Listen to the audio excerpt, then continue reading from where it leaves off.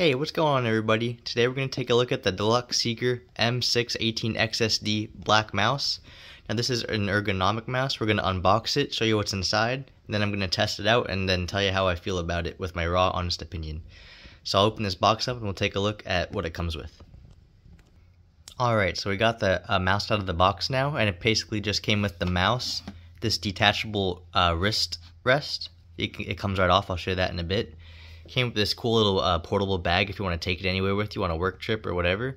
Then, of course, the manual and the charger since it is a wireless mouse. So, this is a vertical mouse. It's much different than any mouse I've ever used before. But I'm excited to try it out because I've always wanted to use one that has this nice little ball right here that you can roll. It's like a scroll wheel, but it, it's shaped in a ball and I think it's really comfortable. And it has the clicker on top, that's your main clicker. Then these two side buttons, I believe they're programmable. And this is the other side scroll wheel right here. This is um, what you use to scroll down on pages like a regular mouse. And overall, my first impression is that it's definitely different, and I would say it's definitely really, it's cool and comfortable, I would say. It will take some getting used to for sure. But I definitely like this uh, this wrist rest here.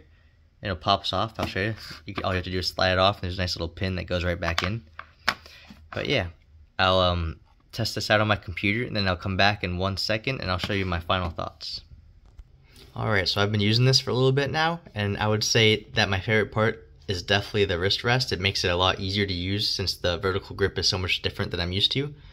Um, but besides that, I think it was a pretty nice experience. I'm definitely going to keep using it. And I definitely like how it feels. The tallness is something to get used to for sure, but once you get used to it, it's really comfortable and fun to use. So.